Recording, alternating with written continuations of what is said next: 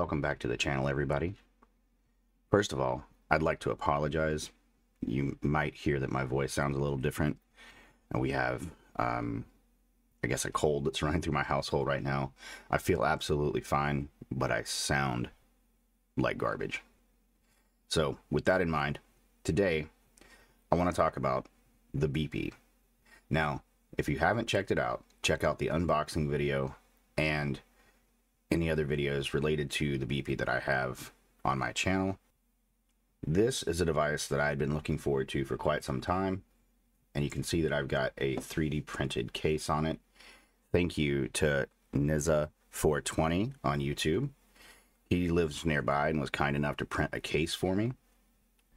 But what is Beepy? Well, taking a look at their website, Beepy is a portable computing device with beautiful high contrast, high resolution display, and a tactile keyboard and touchpad. It is the ultimate everyday hacking gadget. This device is powered by a Raspberry Pi Zero W, which is mounted right here, which is mounted right here, and it's got a, a lithium ion battery that came with it and has USB-C charging, a power port there, a programmable button that I haven't quite figured out yet, a front-facing LED, there's your spot for the SD card for your Raspberry Pi OS, and the outputs for the Raspberry Pi. Powering it on. Now while it powers on, you might be asking, well, what does this device actually do? Well, it kind of does whatever you want it to. It has loaded on it the Raspberry Pi operating system, but it's the command line based version of it. There's no GUI, so you don't get um, a start menu with your programs and your applications and things like that. If you want this to work, you have to program it to do what you want it to do.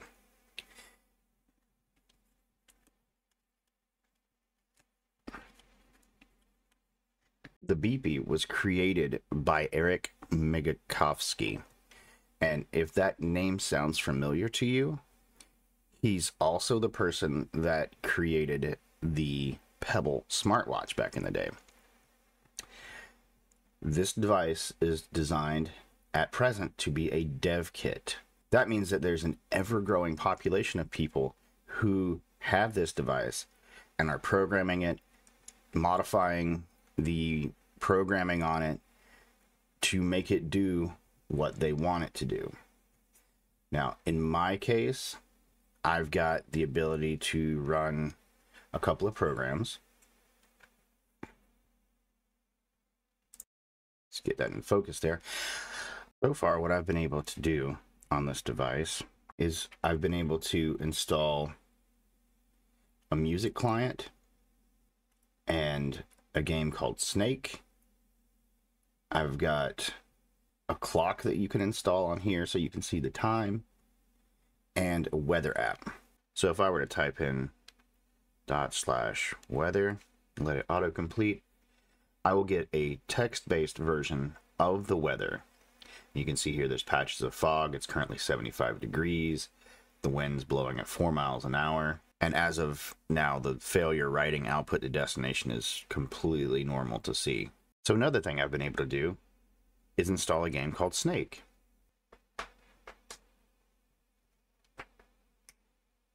And this is a very, very simple game of the classic Snake. You can use your WASD keys to move the snake and he eats the apples and as he eats the apples he gets longer now, any of you who used to have a Nokia phone will be very, very familiar with this game.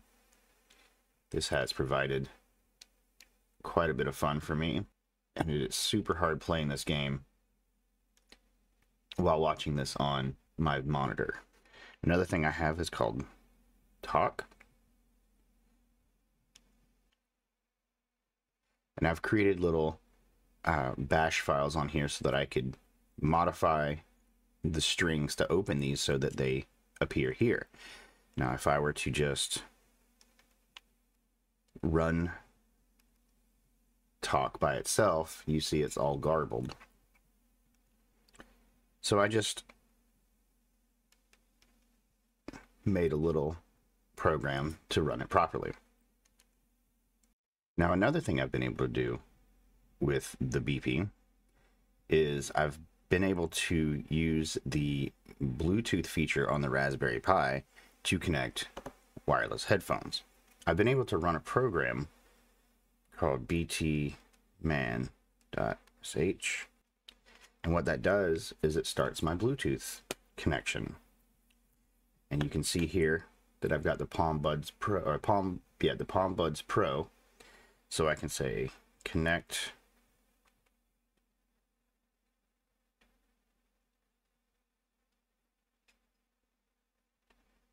there. Connect. And now I have a connection to these headphones. Well what good will that do? Well I can also come in here and run this program called music on command which is a command line version of, of an MP3 player. And then from there, I can tell the Beepy to play music. You can see here that it's playing.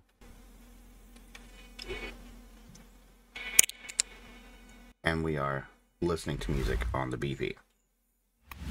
Now all I have to do from there is hit Q and we're done.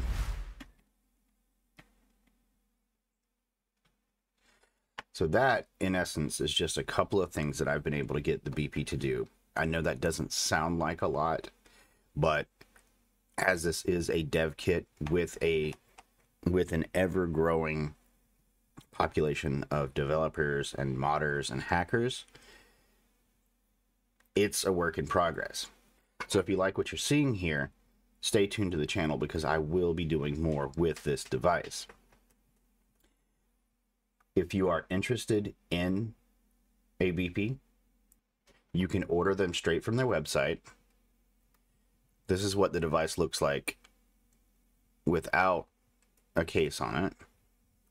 And what you will get in the box is the display, the tactile keyboard, and depending on what your purchase is, it will include a Raspberry Pi. Mine did not because I had two Raspberry Pis sitting in the house.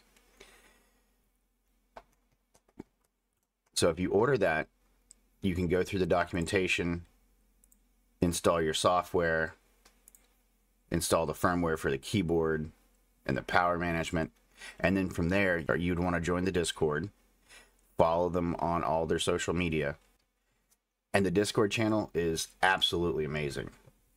There are so many developers on there making programs, modifying drivers, and just making this device much, much better but it will do anything that you can do from a Linux terminal and it's portable. So it's been a lot of fun so far. If you guys have any questions about this device, please leave it in the comments down below. I hope you guys have enjoyed watching this video as much as I have making it.